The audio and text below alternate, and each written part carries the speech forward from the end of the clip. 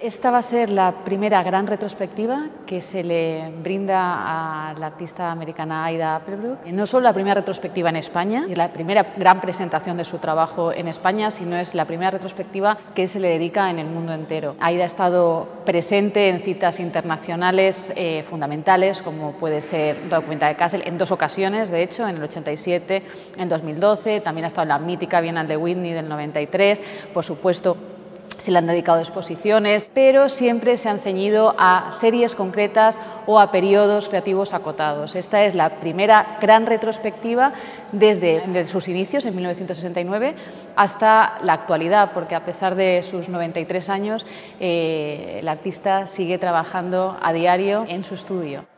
En los años 70 leyó muchísimo Beckett y es algo que permea continuamente en su trabajo ¿no? y, como, y como tal también, o sea, ese humor, ese humor ácido, muy mordaz, muy inteligente, al final se convierte eso en su aliado para desentrañar esas lacras que quiere denunciar continuamente en su trabajo de principio a final. El punto de partida de, todo el trabajo de Aida, eh, su móvil, es eh, una crítica global a esa disfuncionalidad estructural de, de la sociedad ¿no? y dentro de esa crítica cabe todo. Dentro de esa crítica global hay como distintas críticas específicas en las que incide más. Una es obviamente eh, hacia el estereotipo heteropatriarcal, dañinamente inquistado en nuestra sociedad.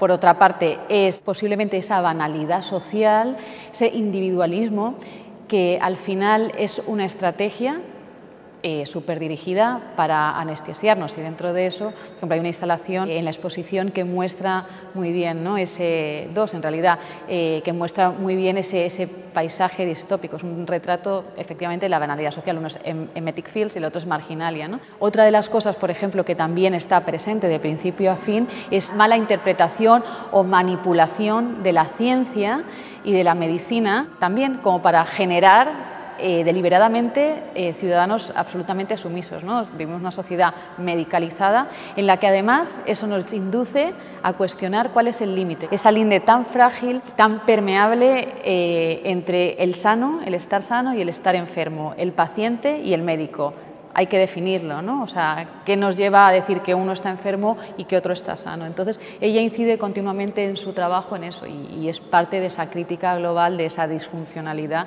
que al final nos dice que, somos títeres ¿no? de algo orquestado. Pero lo que es muy importante en Aida es que eh, ella no juzga, ella no somete, ella nos presenta unas circunstancias, solo nos recuerda que somos títeres de una escenografía eso, orquestada, dirigida y que depende de nosotros el papel que queremos jugar en ella.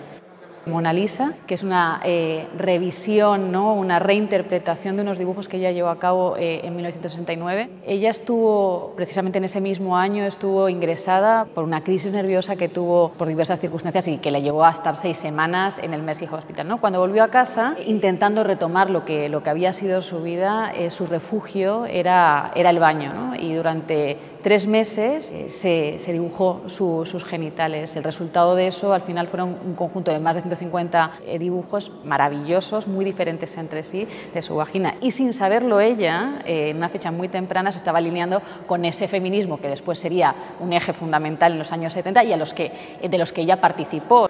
El interés por su cuerpo era en ese momento acotado y como, casi como una forma de resignificarse, ¿no? de, reencontrarse, ¿no? que se estaba buscando y eso al final acaba, como, eh, como se sabe, acaba dos años después su paso por el Mercy Hospital y esos dibujos acaban como al final me encuentro, al final voy a adoptar un nuevo apellido que es Applebrook. ¿no? Hasta el momento tenía el apellido del marido, anteriormente tuvo el del padre y como parte de todo ese proceso de búsqueda, eh, incluidos los dibujos de los genitales, acaba siendo eh, eh, un apellido y una nueva Aida, ¿no? esa Aida Perula que lo conocemos ahora con ese nombre.